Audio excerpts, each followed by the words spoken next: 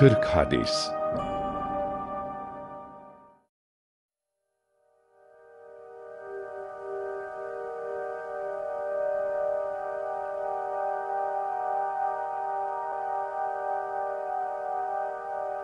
Ameller niyetlere göredir. Herkese niyet ettiği şey vardır. Öyleyse kimin hicreti Allah'a ve Resuluna ise onun hicreti Allah ve Resulünedir. Kimin hicreti de elde edeceği bir dünyala veya nikahlanacağı bir kadına ise onun hicreti de o hicret ettiği şeyedir.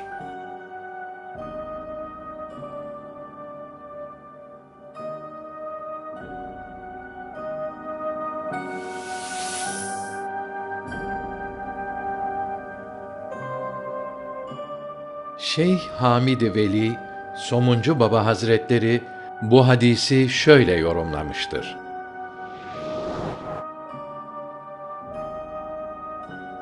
Bütün din ve dünyevi işlerinde halis bir niyete sahip olan kimse iki cihan saadetine nail olur. Bu nedenle Müslüman bütün işlerine iyi bir niyetle başlamalıdır.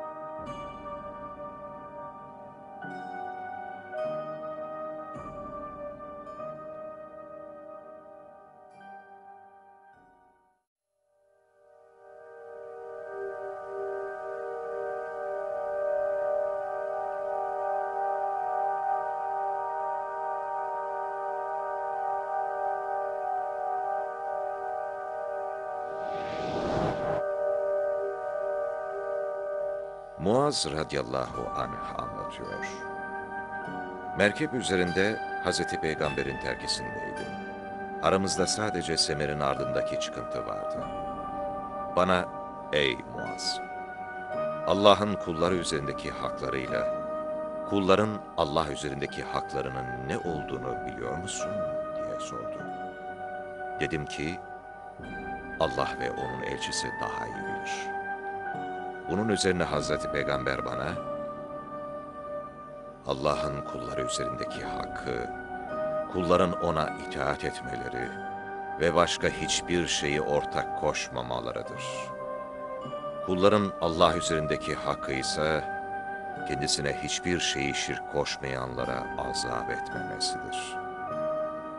Bunun üzerine, ey Allah'ın elçisi, bunu insanlara müjdeleyelim mi diye sordum. Peygamber sallallahu aleyhi ve sellem bana, hayır, o zaman buna güvenip tembellik ederler buyurdular.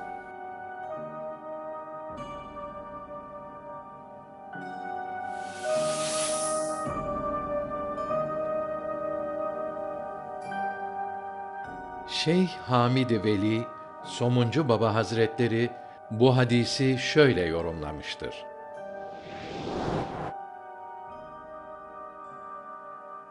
Allah'a hakkıyla ibadet eden, emrettiği şeyi yapan, nehyettiğinden sakınan, zahiri ve batini bütün şirk çeşitlerinden kendisini muhafaza eden insan kamil imana ulaşır, dalalet ve Allah'a isyandan kurtulur.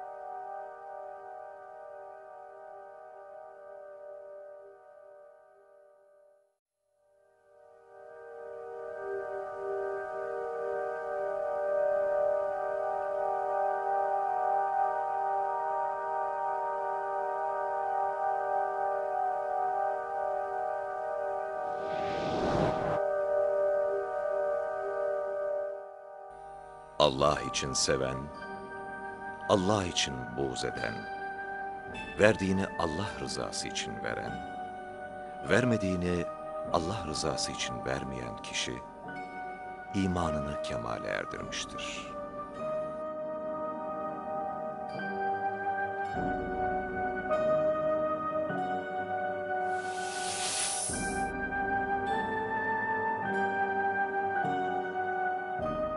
Şeyh Hamid Veli Somuncu Baba Hazretleri bu hadisi şöyle yorumlamıştır.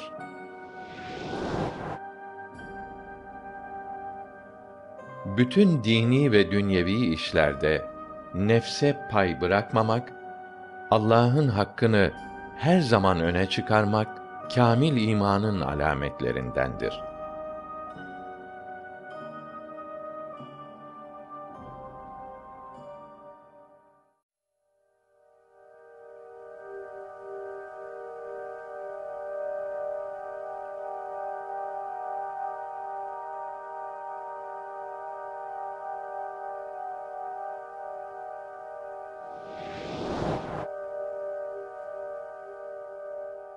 Müslüman, diğer Müslümanların elinden ve dilinden emin oldukları kimsedir. Mümin, insanların kanları ve malları kendisine karşı emniyette bildikleri kişidir. Mücahit, Allah'a ibadet etmek konusunda nefsiyle mücadele edendir. Muhacir de hatalardan ve günahlardan uzaklaşandır.''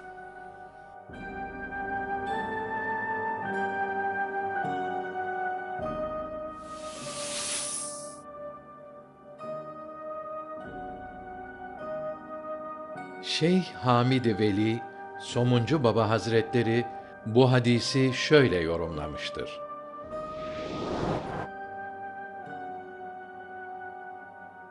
Bu hadiste Allah katında din İslam'dır. Ali İmran suresi 19. ayetine vurgu vardır. O da insanın gerçek İslam'a girişinin emniyet yurduna girmesi olduğudur. Müslüman buraya güvenilir olduğunda girer. Girince hem kendisi hem de etrafındakiler onun eziyetinden emin olur. İnsanın hakiki imana erişmesi, hakiki cihadı yapması ile, hakiki hicreti gerçekleştirmesi de gerçek İslam'a girmesiyle olur. Öyleyse hadiste vurgulanan özelliklere sahip olmak şarttır.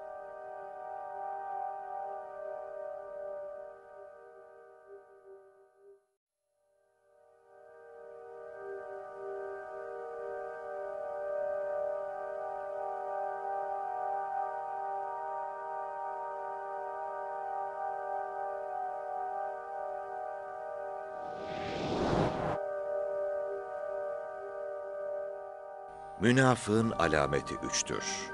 Kişi oruç tutup namaz kılsa ve Müslüman olduğunu iddia etse bile, konuştuğu zaman yalan söyler, söz verince yerine getirmez, emanete de hıyanet eder.''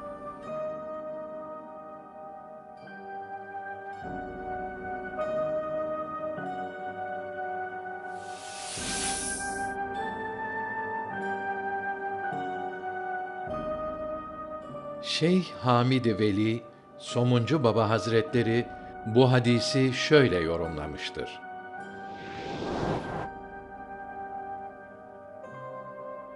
Kişinin alemi ervahta Cenabı Hakk'a verdiği sözde durduğunun alameti üçtür. Doğru sözlü olması, sözünü yerine getirmesi ve emanete hıyanet etmemesi. Allah'a verdiği sözü tutmayanlarda ise tam tersi görülür.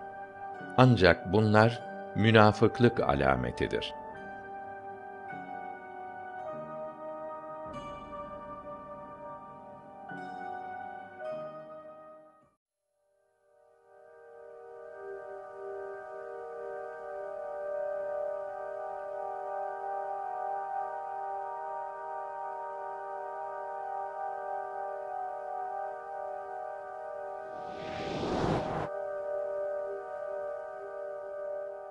Allahu Teala uyumaz. Zaten uyku onun şanına layık değildir. Kullarının maddi manevi durumlarında sürekli değişiklikler yapar. Gündüz amelinden önce gece amelleri, gece amelinden önce de gündüz amelleri Allah'a yükseltilir. Onun görülmesini engelleyen nurdur. Eğer perdeyi açsaydı, celal ve cemali onun gördüğü bütün mahlukatını yakardı.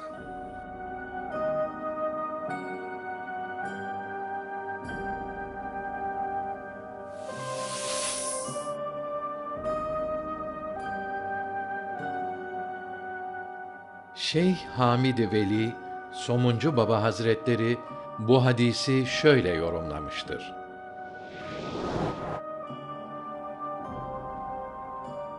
Hazreti Muhammed sallallahu aleyhi ve sellem lisanı hal ile diyor ki: Ey mümin! Niye yaratıldığını düşün. Gaflet uykusundan uyan. Hesaba çekilmeden evvel nefsini hesaba çek. Vaktini boşa harcama. Fırsatı ganimet bil. Böyle yaparsan kerim olan Cenabı Hak senden karanlık perdesini kaldırır ve nuri cemaliyle sana tecelli eder.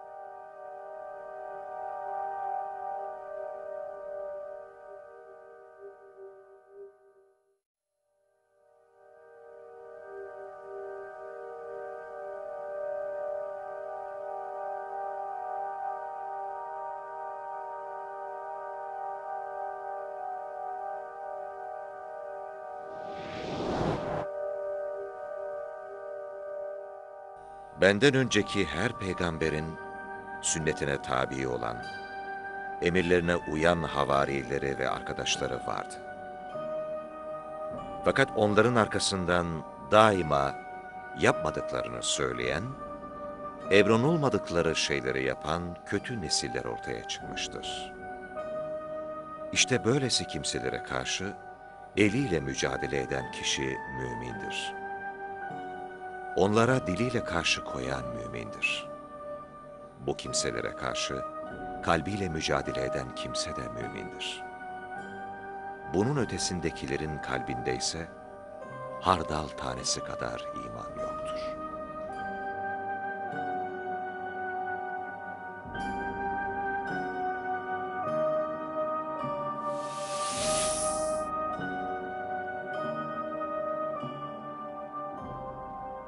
Şeyh Hamid Veli Somuncu Baba Hazretleri bu hadisi şöyle yorumlamıştır.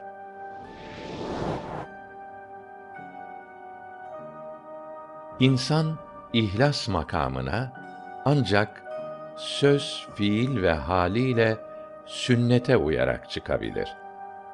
Aksi takdirde peygambere tabi oluyorum iddiası boş bir iddiadır. Böyle bir kimse ile gizli şirk arasında bir bağ oluşur. Allah cümlemizi bundan korusun.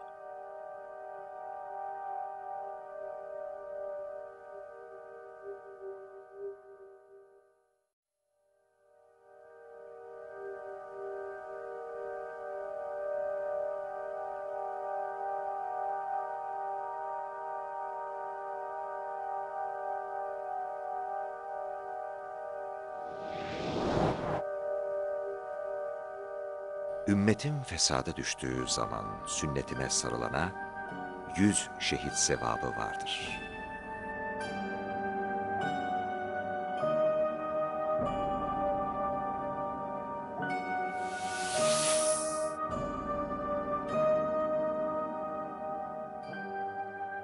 Şeyh Hamid Veli Somuncu Baba Hazretleri bu hadisi şöyle yorumlamıştır.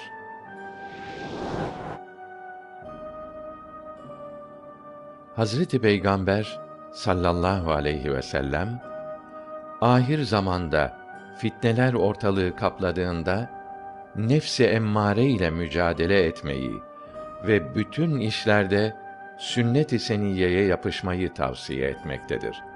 Böyle yapan kimse için Allah katında en büyük şehitlik sevabı vardır.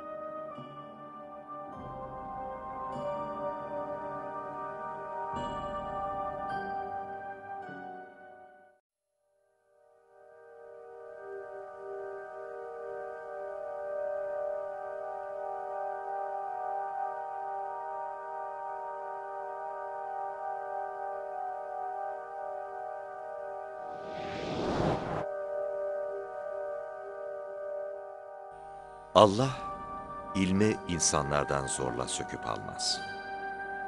Fakat ilmi ulemayı almakla kaldırır. Nihayet tek bir alim kalmayınca halk cahilleri kendine reis yapar. Bunlara meseleler sorulur, onlar da ilimsiz fetva verirler. Böylece hem kendileri saparlar, hem de başkalarını dalalete atarlar.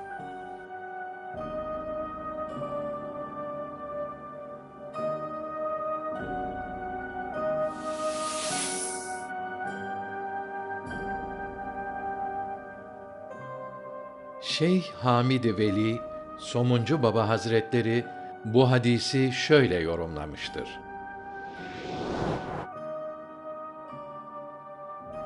Ahir zamanda Kur'an metni ve dini ilimlere dair eserler ortadan kalkmayacaktır. Ancak söz, fiil ve halleri sünnet-i seniyeye muvafık olan otoriter bilginler kalmayınca delilsiz ve mesnetsiz sözler ortalığı kaplayacak, geriye Allah Teala'nın haklarında yapmadığınız şeyleri niçin söylersiniz? Saf suresi 2. ayet diye bahsettiği kimseler kalacaktır. Bunlar da durumları itibariyle cahil konumundadırlar.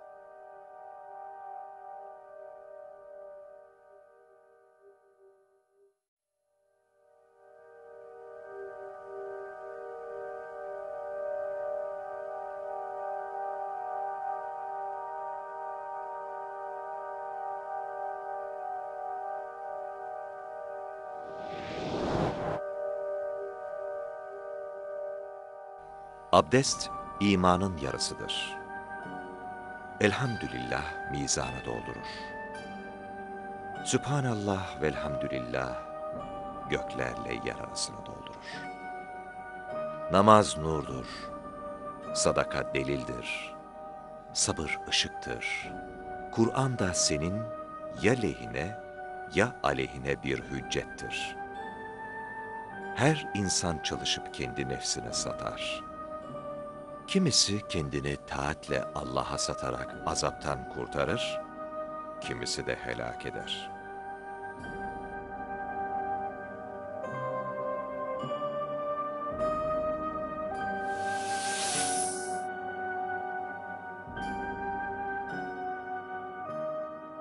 Şeyh Hamid Veli Somuncu Baba Hazretleri bu hadisi şöyle yorumlamıştır.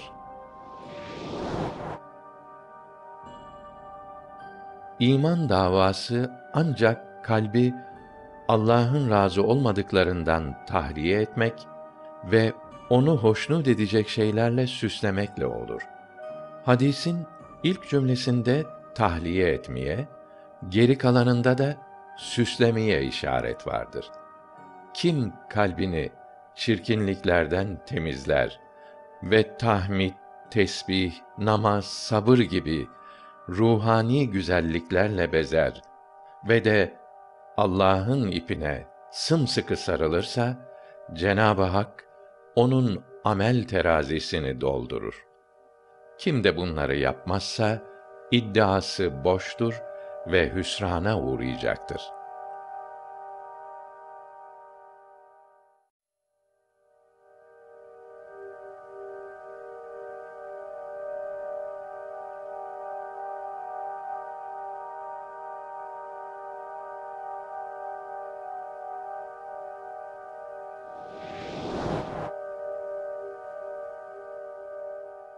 Allah Teala'nın günahları neyle yok edeceğini, dereceleri neyle yükselteceğini sizlere haber vereyim mi?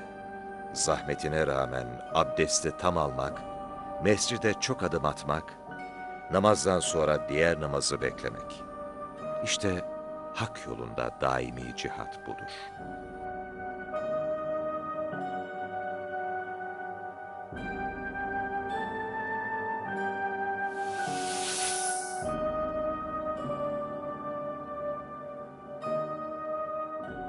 Şeyh Hamid Veli Somuncu Baba Hazretleri bu hadisi şöyle yorumlamıştır.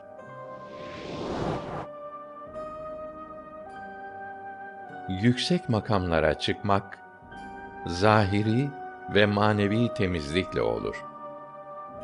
Sanki efendimiz sallallahu aleyhi ve sellem bedenin maddi kirlerden temizlenmesini, nefse zor gelse bile görevlerin ifasını, kalbin manevi pisliklerden arındırılmasını, namazların ciddiyetle eda edilmesini ve ibadete düşkün olunmasını istemiştir.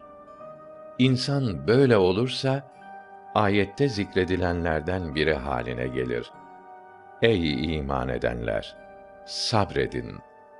Düşman karşısında sebat gösterin.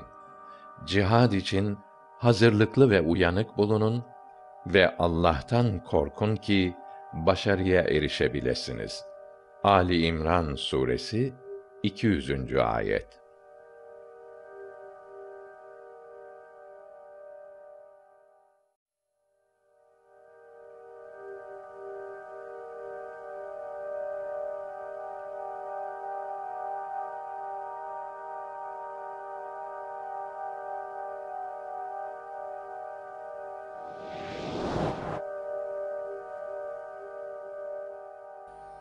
Allah kendi rahmet gölgesinden başka bir gölgenin bulunmadığı kıyamet gününde şu yedi kişiyi rahmet gölgesi altına alır. 1. Adaletten ayrılmayan idareci. 2. Allah'a ibadetle yetişen bir genç. 3. Kalbi mescitlere bağlı kişi. 4. Allah rızasını kazanmak için birbirlerini seven, onun için bir yere gelen, onun için birbirinden ayrılan iki kimse. 5. Kendisine mevki sahibi, güzel bir kadın fenalığa davet ettiğinde, ben Allah'tan korkarım diyen kişi. 6. Sağ elinin verdiğini, sol eli bilmeyecek derecede gizli sadaka veren kimse. 7. Yalnız başınayken Allah'ı anıp gözleri yaşaran insan.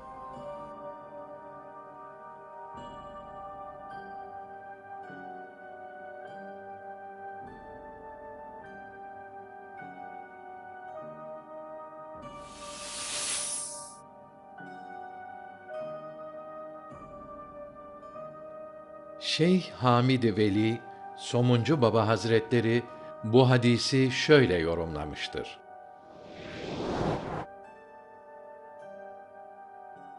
Bu yedi sınıf Allah'ın lütuf ve keremi onlarda tecelli ettiği için rahmetinden istifade ederler. Çünkü Allah'ın emrettiği şekilde adalet üzere hükmederler. Ömür boyunca ibadetle nefislerini kötü şeylerden korurlar. Kalpleri mescitlerdedir. Gönülleri Allah sevgisiyle doludur. İçlerini Allah'ın zikri kaplamıştır. Yalnız kaldıklarında Allah'tan başka bir güzelliğe meyletmezler. Var olanı Allah için tasadduk ederler.''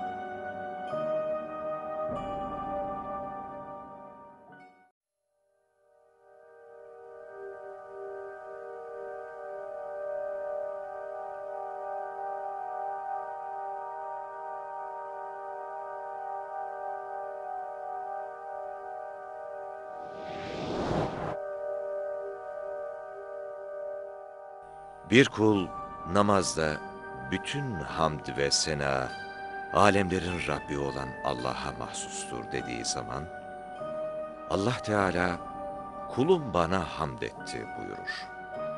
Kul, o Rahman ve Rahim'dir dediğinde, kulum bana sena etti buyurur.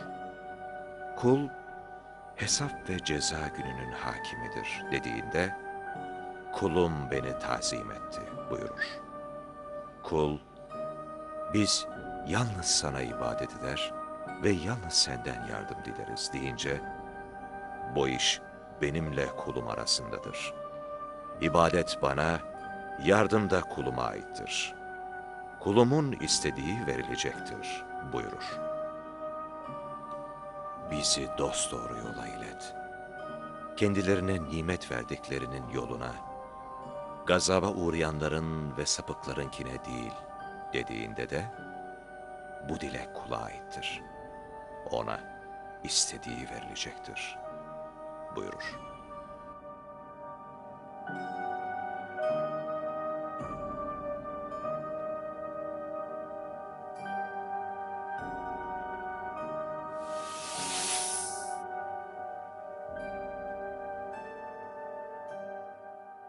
Şeyh Hamid Veli Somuncu Baba Hazretleri bu hadisi şöyle yorumlamıştır.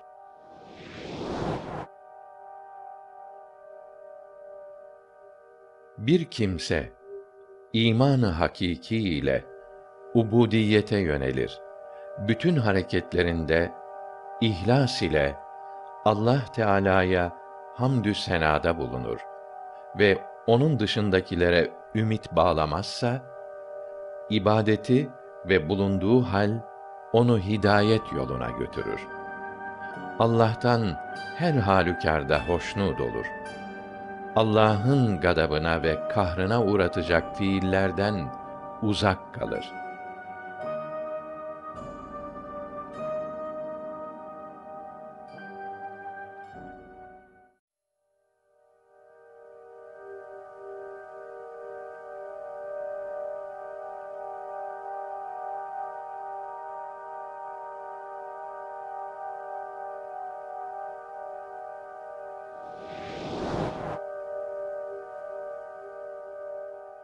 Bir kimse bana bir kez salavat-ı şerife getirirse, Cenab-ı Allah ona on kere rahmet eder, on günahı düşürülür ve on da derece verilir.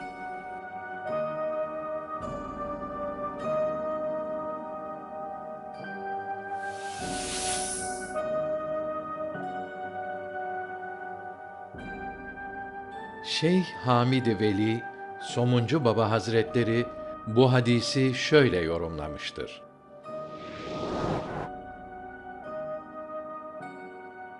İnsanlara ilahi feyzin gelmesine neden olan Hazreti Peygamberdir.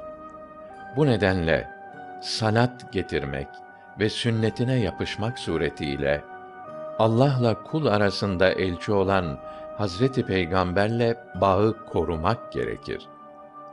Kul Resulullah'a salat getirmek ve sünnetlerine tabi olmak suretiyle derecesi yükselir ve Allah'la arasındaki perdeler peyderpey kalkarak Rabbe daha çok yaklaşır.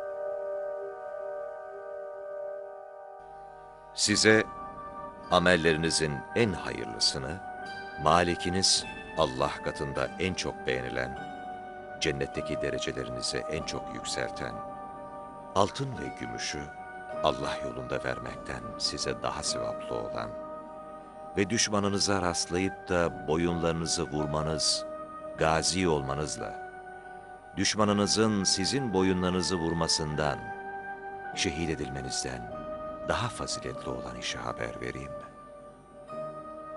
O şey Allah'ı zikretmektir.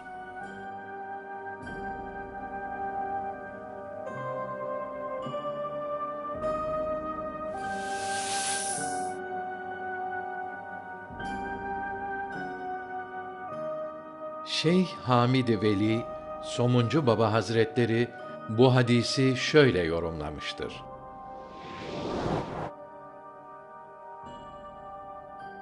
Kul zikrullah ile Allah'a mali ve bedeni ibadetlerden daha çok yaklaşır. Lisanı zikreden, ruhen ve bedenen de bunun gereklerini yerine getiren kimse tevhidin en yüksek mertebesine ulaşır.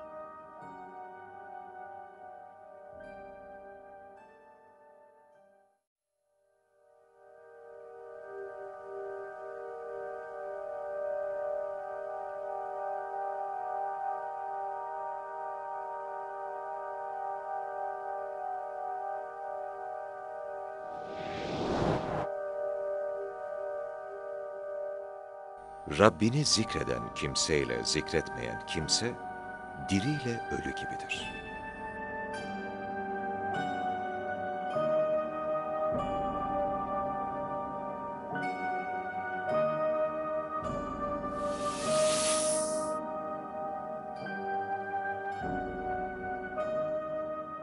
Şeyh Hamid Veli Somuncu Baba Hazretleri bu hadisi şöyle yorumlamıştır.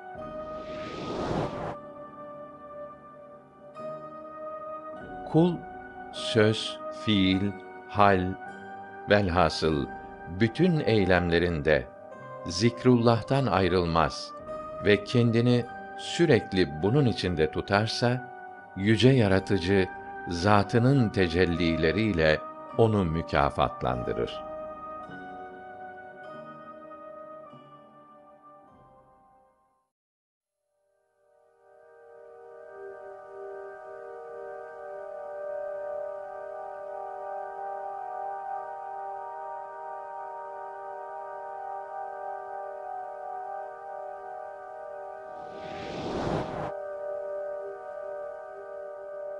Allah'ın kula en yakın olduğu vakit gecenin son kısmındadır. O saatte Allah'ı zikredenlerden olmaya gücün yeterse öyle ol.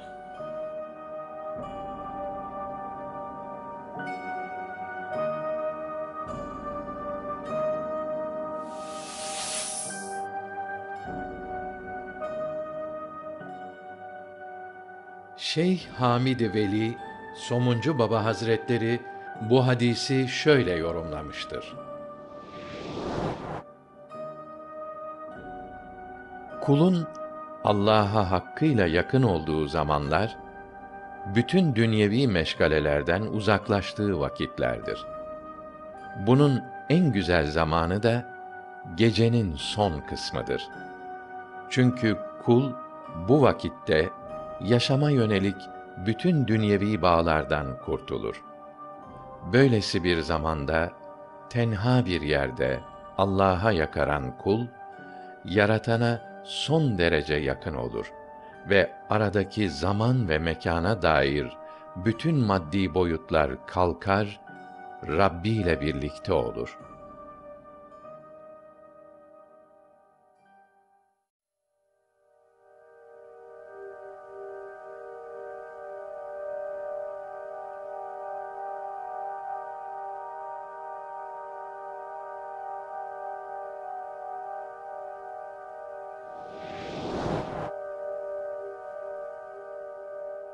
Allah katında amellerin en faziletlisi, az da olsa devamlı yapılandır.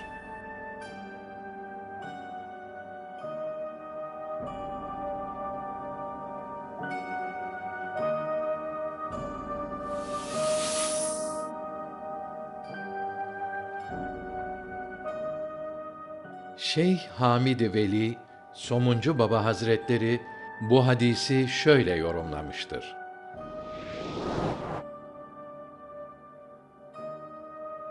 Allah yanında en faziletli amel az da olsa sürekli olandır.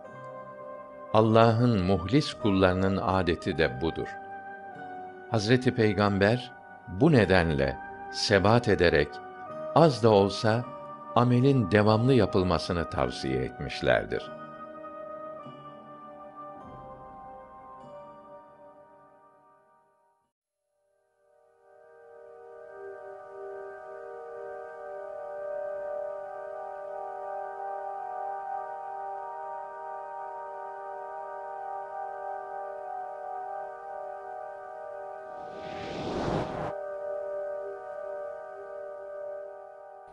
Allah'a kavuşmayı arzularsa, Allah da ona kavuşmayı arzular. Kim de Allah'a kavuşmaktan hoşlanmazsa, Allah da ona kavuşmaktan hoşlanmaz.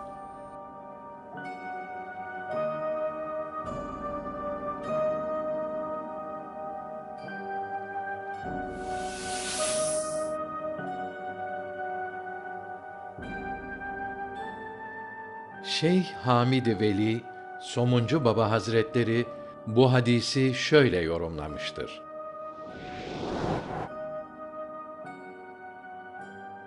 Hazreti Peygamber ölüm gelmeden önce ona hazır olmamızı tavsiye etmişlerdir. Çünkü Allah sevgisi yaratana kavuşma arzusunu doğurur. Bu arzu ise Rabbe ulaştıran amelleri yapmaya şevklendirir.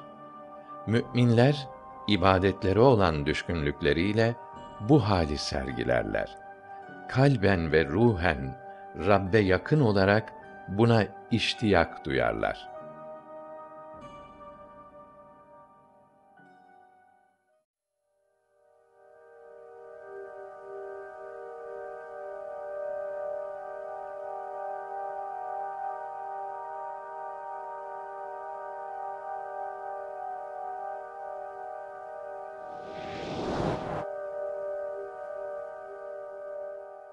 Her biriniz Allah Teala'ya hüsnü zan besleyerek ölmeye çalışsın.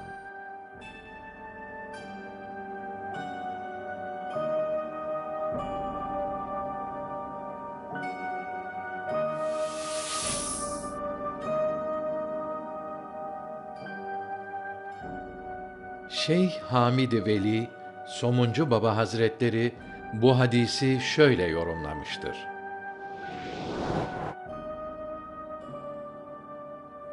Bir ayette Allah sana nasıl ihsan ettiyse sen de öyle iyilik et. Kasas suresi 77. ayet. Buyurulmaktadır. Gerçekten de Allah kula pek çok ikramda bulunmuş ve onu doğru yola iletmiştir. Bu durumda kula yakışan gereğini yerine getirmek ve kurtuluşa ermektir. Bunun tek yolu da Allah'a güzel ve içten kulluk etmektir. Dolayısıyla Allah'a karşı beslenecek hüsnü zan, güzel kul olmaya çalışmaktır.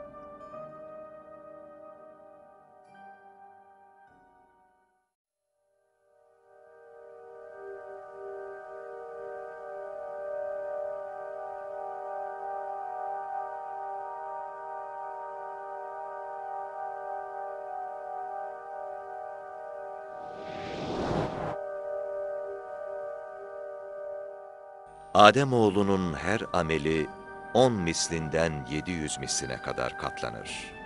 Ancak Allah Teala oruç müstesna, çünkü o benimdir, onun mükafatını verecek olan benim, çünkü kulum şehevi arzularıyla yemesini benim için terk ediyor buyurmuştur.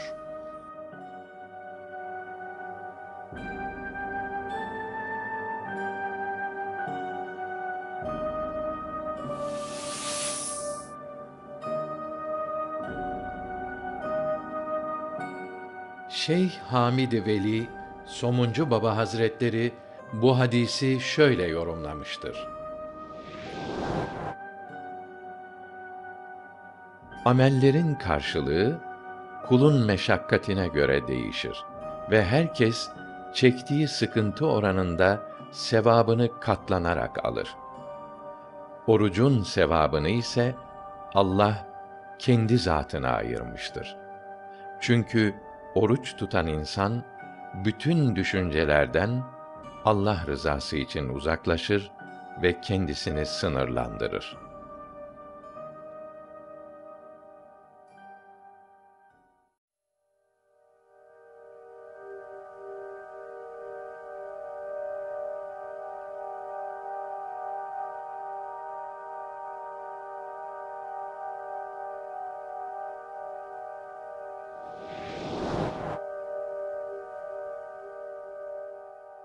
Haset ancak iki haslette meşrudur. Biri, Allah'ın kendisine vermiş olduğu Kur'an'ı gece gündüz okuyan kişi.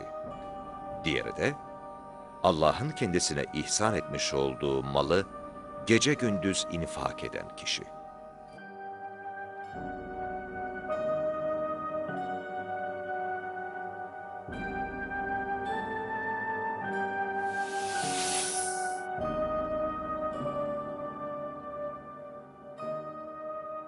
Şeyh Hamid Veli Somuncu Baba Hazretleri bu hadisi şöyle yorumlamıştır.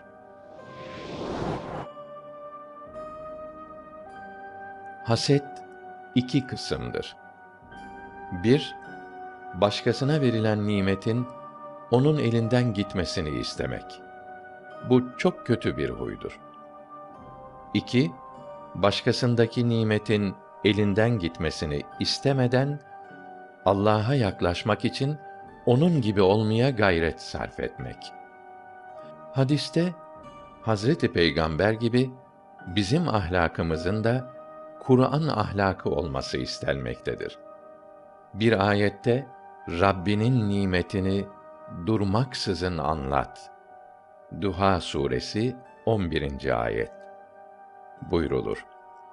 Allah'ın nimetleri ise hayatımızın her alanını kapsamaktadır. Dolayısıyla bu nimetleri hem söylemeliyiz hem de gereğini yapmalıyız.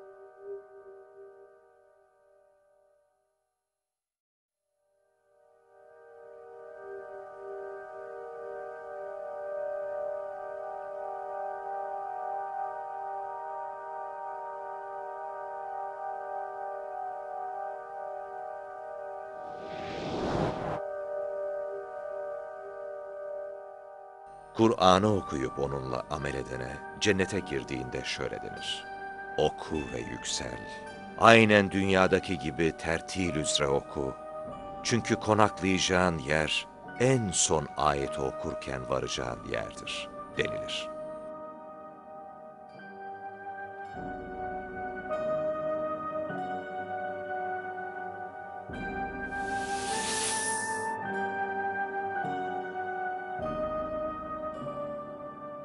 Şeyh Hamid Veli Somuncu Baba Hazretleri bu hadisi şöyle yorumlamıştır. Dünyada sahip olunan güzel sıfatlar ve ameller ahirette insanın derecesinin yükselmesine neden olurlar. Bu nedenle insanın hayatını sürerken elinden geldiğince beşeri sıfatlardan kendisini uzaklaştırıp Allah'ın hoşnut olduğu ahlak ve amellerle ruhunu güzelleştirmeye çalışması gerekir. Kul böyle yapa yapa Allah katındaki manevi derecesi yükselir. Bunu gerçekleştirmek de Kur'an'ı hakkını vererek çok okuyup amel etmekten geçmektedir.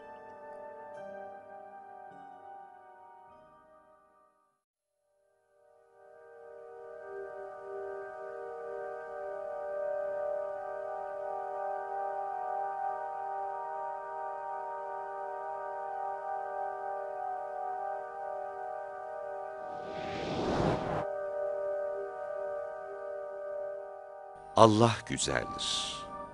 Ancak güzel ve temiz şeyleri kabul eder. Bir kimse hak yolunda uzun sefere çıkar. Saçları dağılmış, toza toprağa bulanmış bir halde ellerini semaya uzatarak Ya Rabbi, Ya Rabbi diye dua eder. Halbuki yediği haram, içtiği haram, giydiği haram, hasılı haramla beslenmiştir. Böyle birisinin duası nasıl kabul edilir?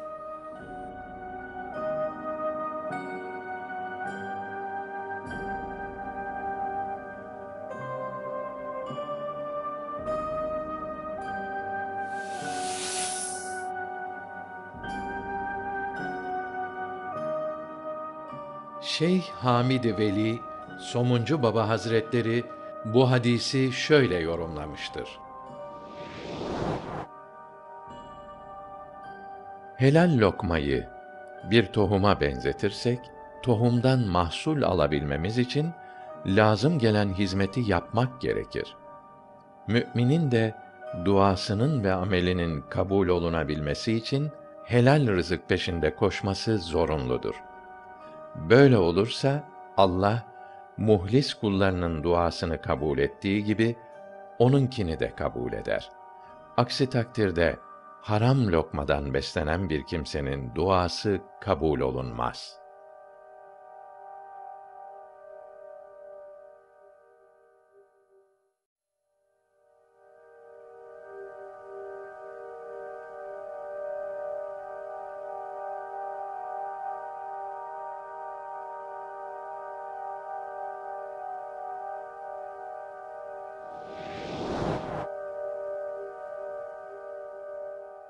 Benden sonra erkeklere kadınlardan daha tehlikeli bir imtihan bırakmadım.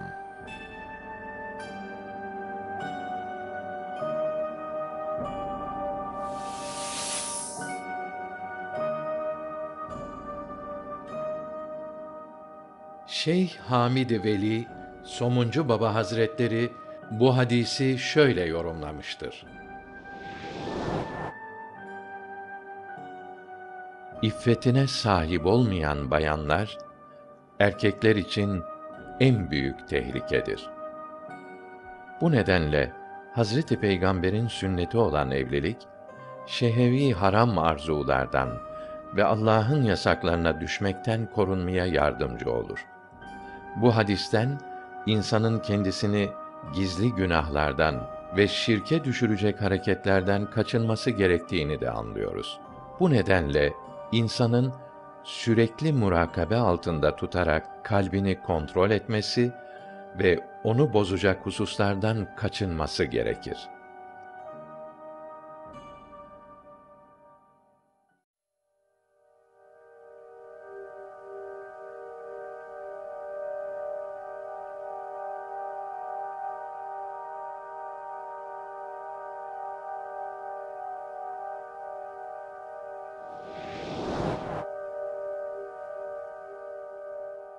Meşru idarecinin emrinden çıkıp cemaatten ayrılan kimse cahiliye ölümüyle ölür.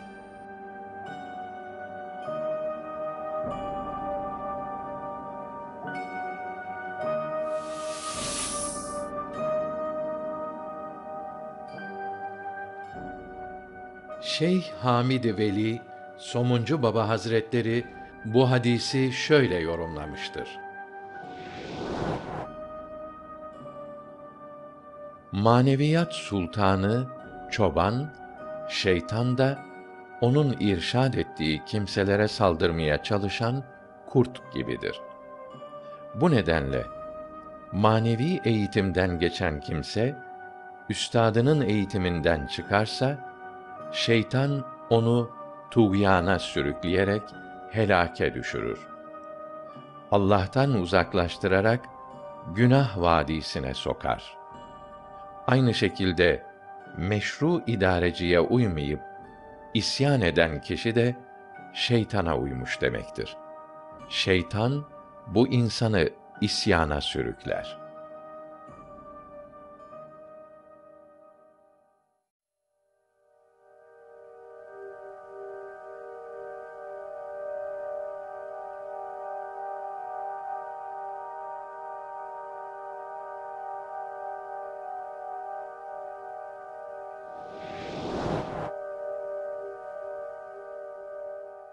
Mütevazı giyinmek imandandır.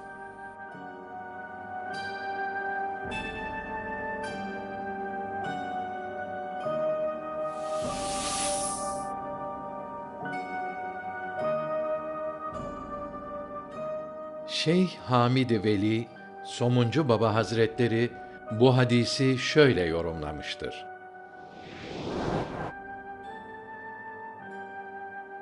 Allah sevgisi elbisesini giyen, dünyanın şatafatını terk eden ve haline gönülden razı olup sabreden insana dünyanın bütün albenisi karşısında Allah yeter. Bu nedenle iç alemini takva ile süsle. Dışını da Rabbinin cemal sıfatının tecellileriyle giyindir.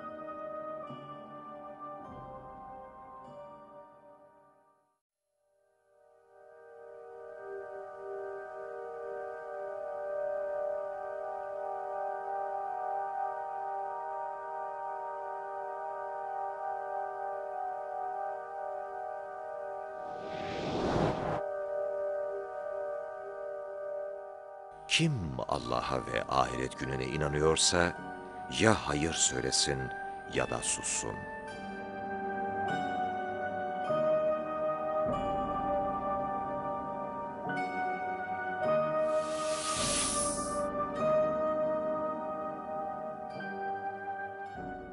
Şeyh Hamid Veli Somuncu Baba Hazretleri bu hadisi şöyle yorumlamıştır.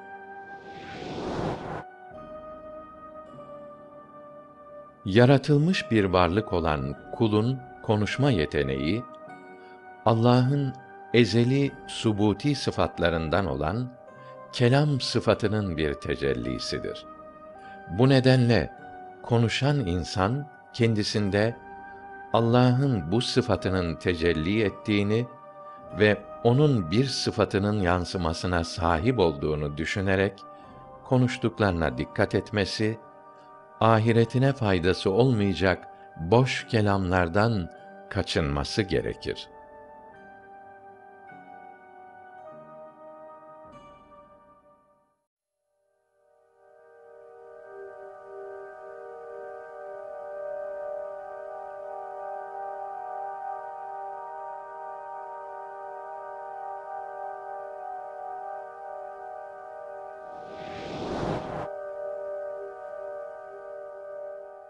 Komşusunun zararından emin olmadığı kimse, vallahi gerçekten iman etmiş değildir. Vallahi gerçekten iman etmiş değildir. Vallahi gerçekten iman etmiş değildir.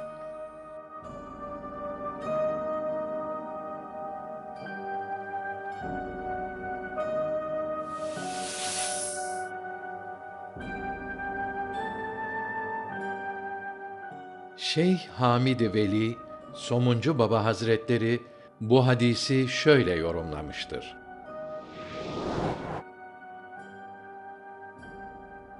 Sen etrafında bulunan insanlara iyi komşuluk yapabilirsen onlar senden etkilenirler ve başka insanlara iyi örnek olurlar, komşuluk yaparlar.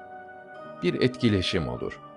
Bu nedenle Erhamür Rahimin olan Allah'ın emirleri doğrultusunda yaşayan insan Allah'ın rahmetinin kullara ulaşmasına vesile olur. Bu kul Allah'ın rahmetinin tecellilerinden bir tecelli olur. Etrafındakiler ondan etkilenerek güzel insan olurlar.''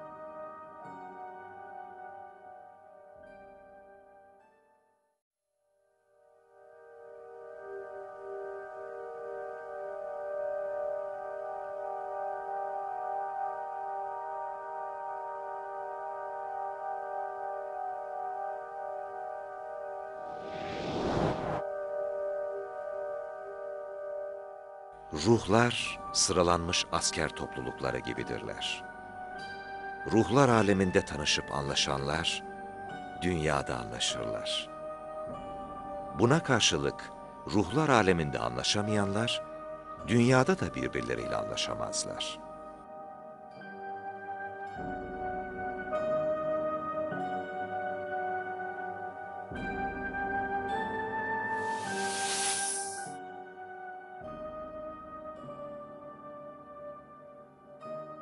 Şeyh Hamid Veli Somuncu Baba Hazretleri bu hadisi şöyle yorumlamıştır.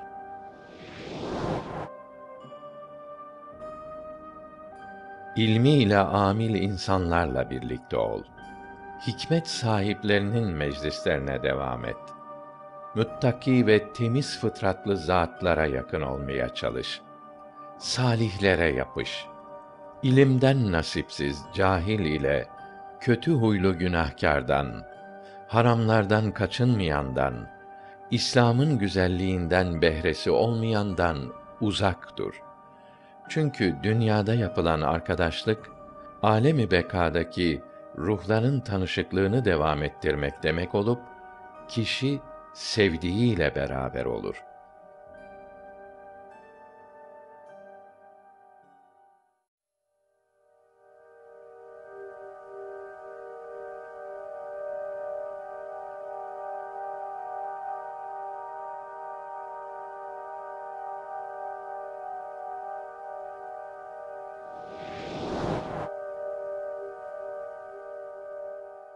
Allah Teala kullarına kolaylık diler. Güçlerini aşan şeyleri yüklemez. Kullarının da yumuşaklılıkla muamele etmesini sever. Katılıkla yapılana vermediği muvaffakiyet ve sevabı, yumuşak huylulukla yapılan işlere verir.''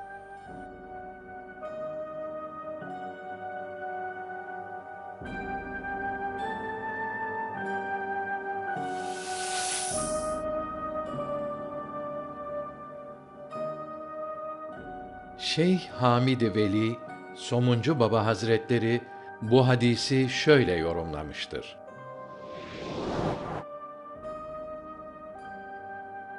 Müslüman kardeşlere karşı sert tutum yerine yumuşak ve nazik bir tutum takınmak gerekir. Bu Allah Teala'nın rahmetinin tecellisini kahrının tecellisine tercih edenlerin takip ettiği yoldur. Böyle olursan rahmeti gadabını geçen yüce Allah da sana rahmetiyle ve lütfuyla muamelede bulunur.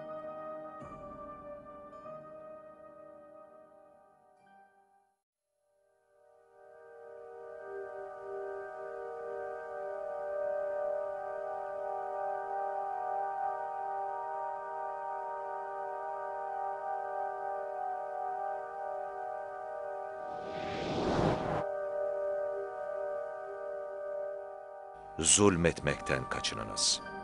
Zira zulüm ahiret günü karanlıklarıdır. Cimrilikten de kaçınınız.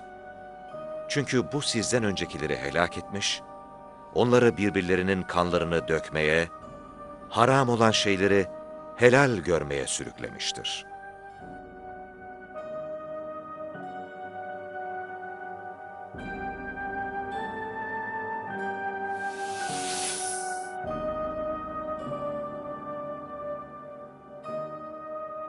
Şeyh Hamid Veli Somuncu Baba Hazretleri bu hadisi şöyle yorumlamıştır.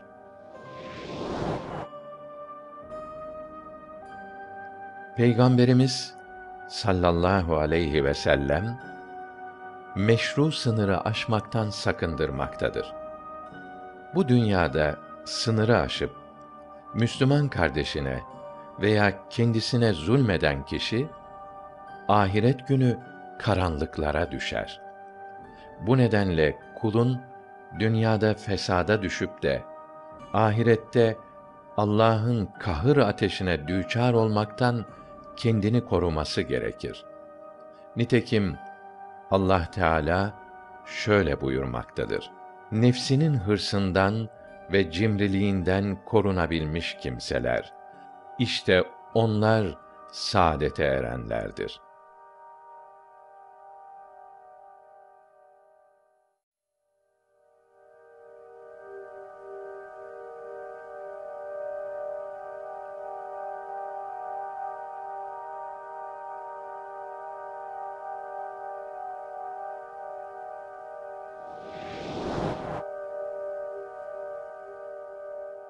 Dünyada bir yabancı veya yolcu gibi ol.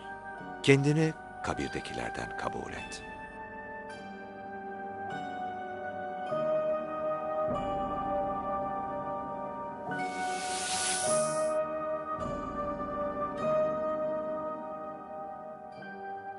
Şeyh Hamid Veli Somuncu Baba Hazretleri bu hadisi şöyle yorumlamıştır.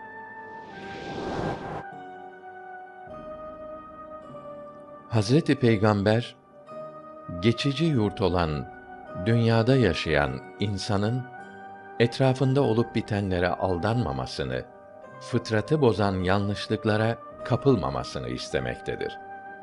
Bu nedenle kibirlenme ve aldanma yurdu olan dünyaya kendimizi kaptırmayıp mutluluk yurduna hazırlık yapmamız gerekir.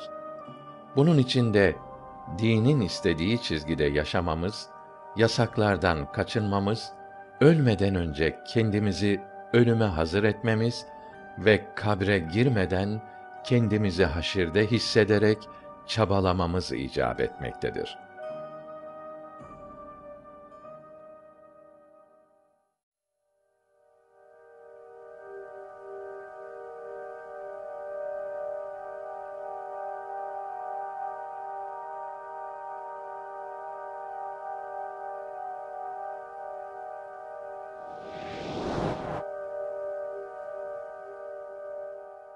nice kapılardan kovulmuş, saçı başı dağınık pejmürde insan vardır ki, eğer bir şey hakkında Allah'a yemin etse, Allah yemininde sadık çıkarır.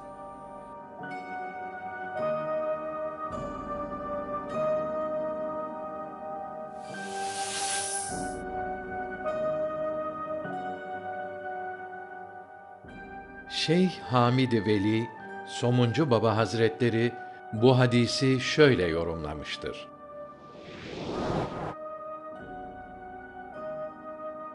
Bu gibi kimseler dünyanın nimetlerine ve şaşasına kendi arzularıyla sırt çevirirler. Böylece dünyanın tuzaklarından ve insanı felakete düşüren ortamlarından emniyette olurlar. Allah katındaki değerleri ve mertebeleri de artar. Bu konuma geldiklerinde de Allah onların münacaatlarını geri çevirmez. Kalp ile dilin takatsiz ve aciz kaldığı kıyamet gününde de yüce Allah onların dualarını reddetmez.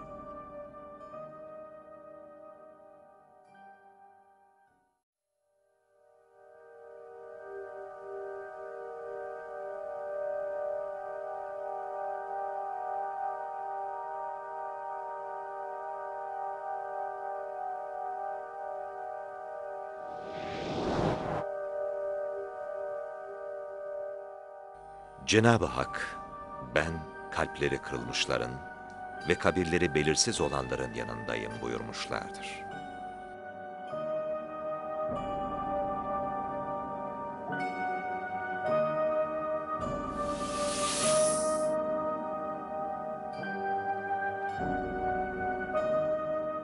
Şeyh Hamid Veli Somuncu Baba Hazretleri bu hadisi şöyle yorumlamıştır. Kalpleri dünyada kırık olanların durumu ahirette giderilecek ve mükafatlandırılacaklardır. Bu insanların ne hayatlarında ne de vefatlarından sonra bir endişe ve sıkıntıları olmaz. Yüce Yaratıcının rahmeti ve sahiplenişi onların üzerinde tecelli eder ve başkalarına karşı bir ihtiyaç düşüncesinde olmazlar. Kendilerini yalnız hissetmezler.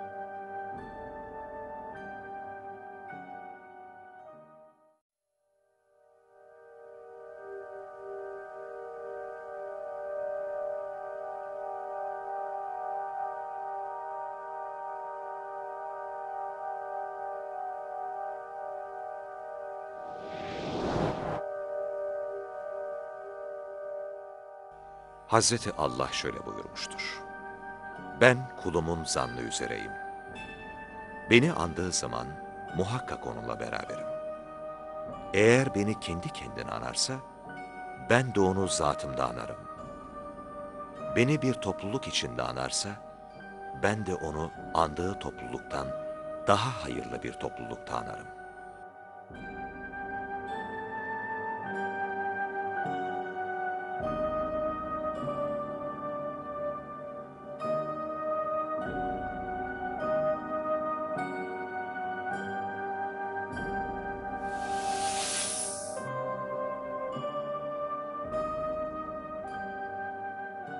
Şeyh Hamid Veli Somuncu Baba Hazretleri bu hadisi şöyle yorumlamıştır.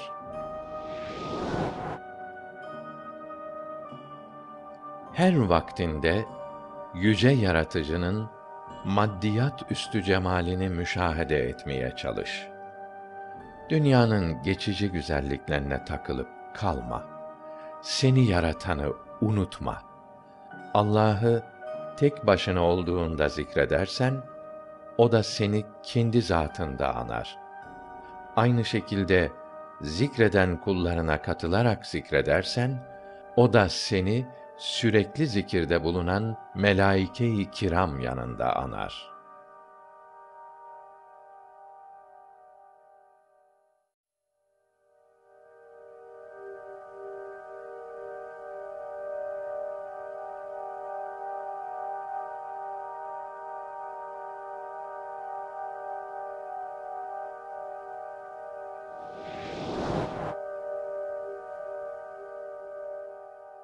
Allah Teala şöyle buyurmuşlardır. Ey kullarım! Benim hidayete erdirdiklerim müstesna, hepiniz dalalettesiniz. O halde benden hidayet dileyin de sizi doğru yola kavuşturayım. Ey kullarım! benim nimetlendirdiklerim müstesna, hepiniz açsınız. O halde benden isteyin ki sizi doyurayım.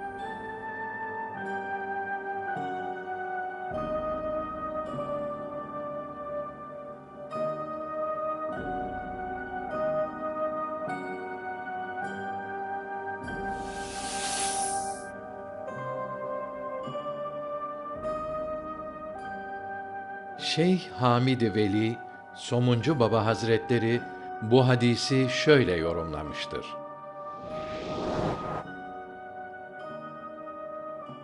Allah'tan ve kulluktan uzaklaşan kul kendisini hidayete erdirmesi için Allah'a içten niyaz ederse Allah onu düştüğü uzaklıktan alır ve zatına yaklaştırır, vahdete erdirir. Bu nedenle insan dünyanın gıda ve giyimlerine kendisini kaptırmayıp Allah'a yönelirse yüce yaratıcı da ona varlığının ve kudretiyle sahip çıkışının hazzını yaşatır.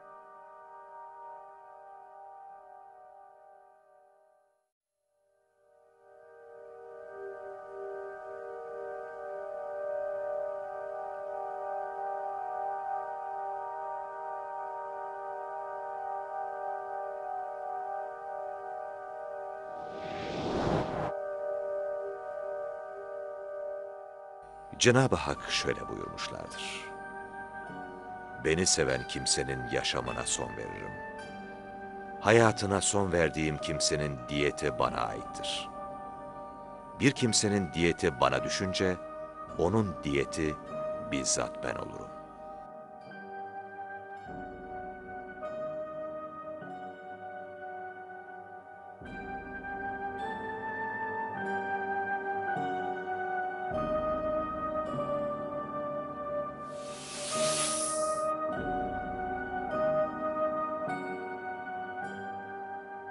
Şeyh Hamid Veli Somuncu Baba Hazretleri bu hadisi şöyle yorumlamıştır.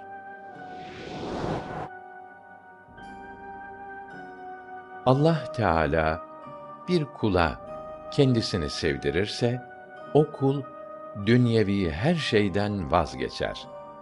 Sonsuz aşkı tadarak Allah sevgisiyle dolar.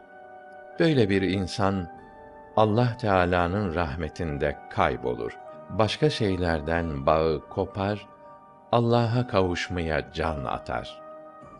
Cenab-ı Allah nihayet ömrü tamam olunca onu dünya meşakkatlerinden ayırıp zat-ı barisine kavuşturur.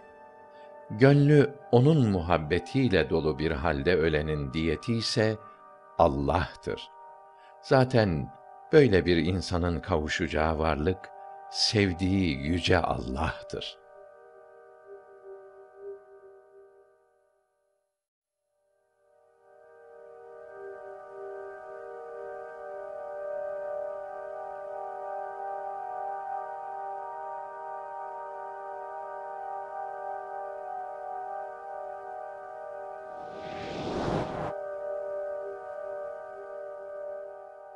Cenab-ı Allah şöyle buyurmuşlardır.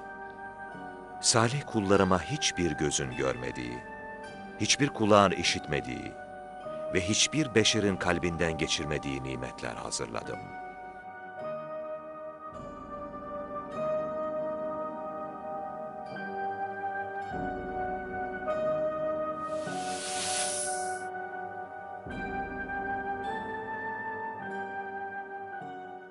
Şeyh Hamid Veli Somuncu Baba Hazretleri bu hadisi şöyle yorumlamıştır.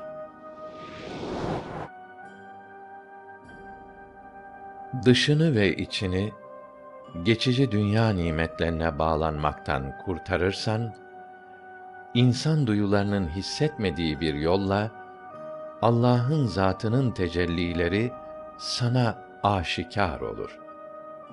Böyle bir durumda gördüğün ve göreceğin tek şey Allah Teala ve onun yüce kudretinin yansımaları olacaktır.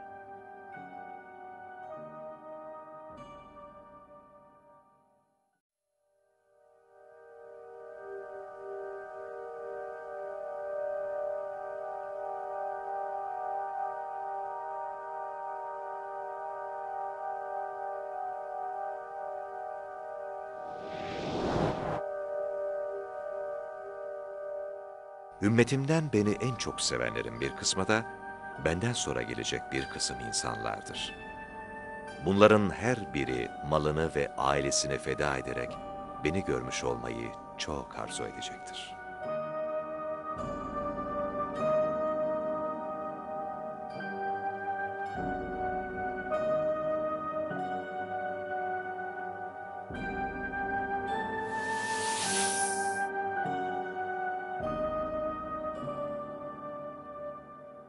Şeyh Hamid Veli Somuncu Baba Hazretleri bu hadisi şöyle yorumlamıştır.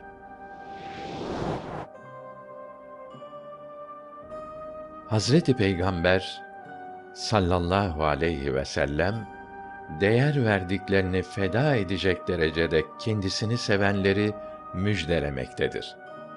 Rasulullah sevgisiyle dolu olan insanlar aziz sevginin coşkusuyla değersiz ve geçici sevgilerden uzaklaşırlar. Dünyevi meşgalelerin verdiği sıkıntılardan kurtulurlar, ilahi sevgiye ulaşmış kullar arasına katılırlar.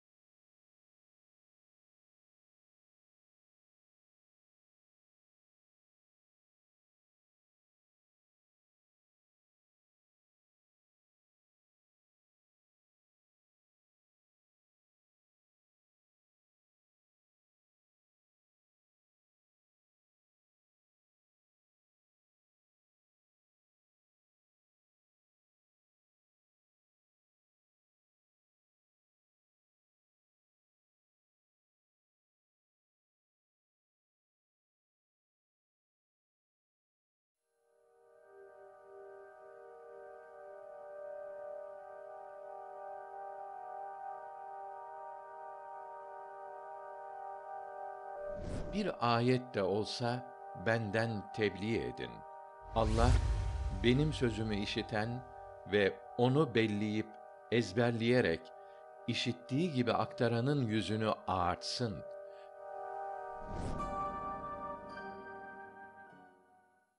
Peygamberimizin her kelamı, her hareketi ve yaşama tarzı biz Müslümanlar için en güzel örnektir.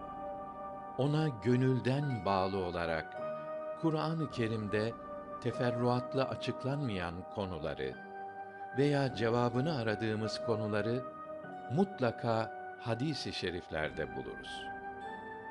Sevgili Peygamberimiz sallallahu aleyhi ve sellem ayetlerin yorumunu ve o hususlardaki görüşlerini veya ashab-ı kiramın sorularını ilahi kudretin kendine verdiği ilim ile çözüme kavuşturmuş, etrafındakilere ve çağlar ötesine esaslı tavsiyelerde bulunmuşlardır.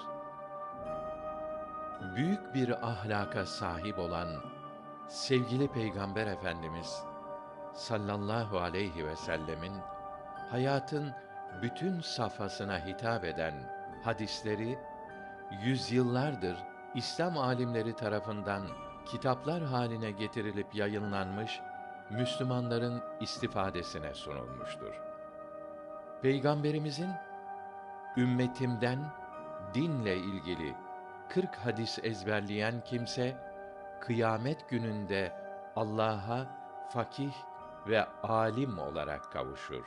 Müjdesine binaen 40 hadis mecmuaları Hicri 2. asırdan itibaren yazılmış ve çoğaltılmıştır.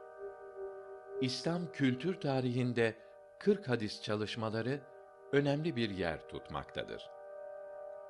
Anadolu'nun İslamlaşması için büyük gayretler gösteren mutasavvıflardan olan Gavsül Azam, Kutbül Arifin, Şeyh Hamidi Veli, Somuncu Baba Hazretlerinin bilinen üç eserinden biri de Tuhfetül İhvan, Hadisi Erbain mecmuasıdır.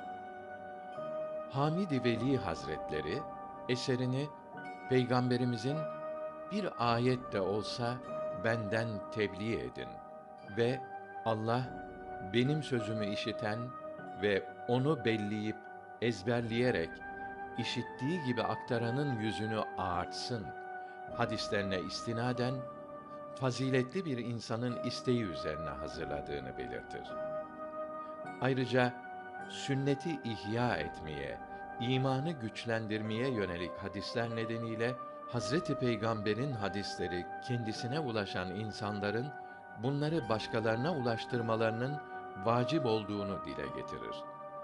Hem kendisinin hem de bunu okuyacak olanların yararlanması amacıyla 40 hadis mecmuasını oluşturduğunu söyler. 40 hadis eserleri bazen ticaretle, bazen ibadetlerle, bazen de insanın manevi dünyasını onaran ve terakki ettiren türden rivayetlerden oluşmuştur. Osmanlılar döneminde Arapça 40 hadis şerhini ilk yazan kişi olan Hamidi Veli'nin çalışması bu tür bir eserdir. Bir tasavvuf önderinin insanların Allah'ın dinine daha bilinçli yönelmelerini, ibadetlerini daha içten yapmalarını ve gerçek anlamda birer kul olmalarını sağlamak için böylesi bir çalışmaya girişmiş olması eserin önemini arttırmaktadır. Burada onun kendisini seven insanları Hazreti Peygamber'in hadisleriyle buluşturma çabası yanında kutlu elçinin buyruklarıyla manevi yükselişlerini sağlama niyeti görülmektedir. Bir sufi büyüğün ilme önem vermesi, sevenlerinden hazırlamış olduğu 40 hadisi okumalarını ve kendilerine kılavuz yapmalarını beklemesi son derece önemlidir. Derlediği hadisleri neye göre seçtiğini incelediğimizde, insanın bütün hayatında ilahi iradeyi göz önünde bulundurması, dünyevi gayelerden uzaklaşması ve iyi bir ahlakla edeplenmesi ön plana çıkmaktadır. kısa, ezberlenmesi kolay ancak bahsettiğimiz çerçeve içinde vurgusu güçlü olan rivayetlerden seçilen hadisler tasavvufi terbiye göz önünde bulundurularak derlenmiştir.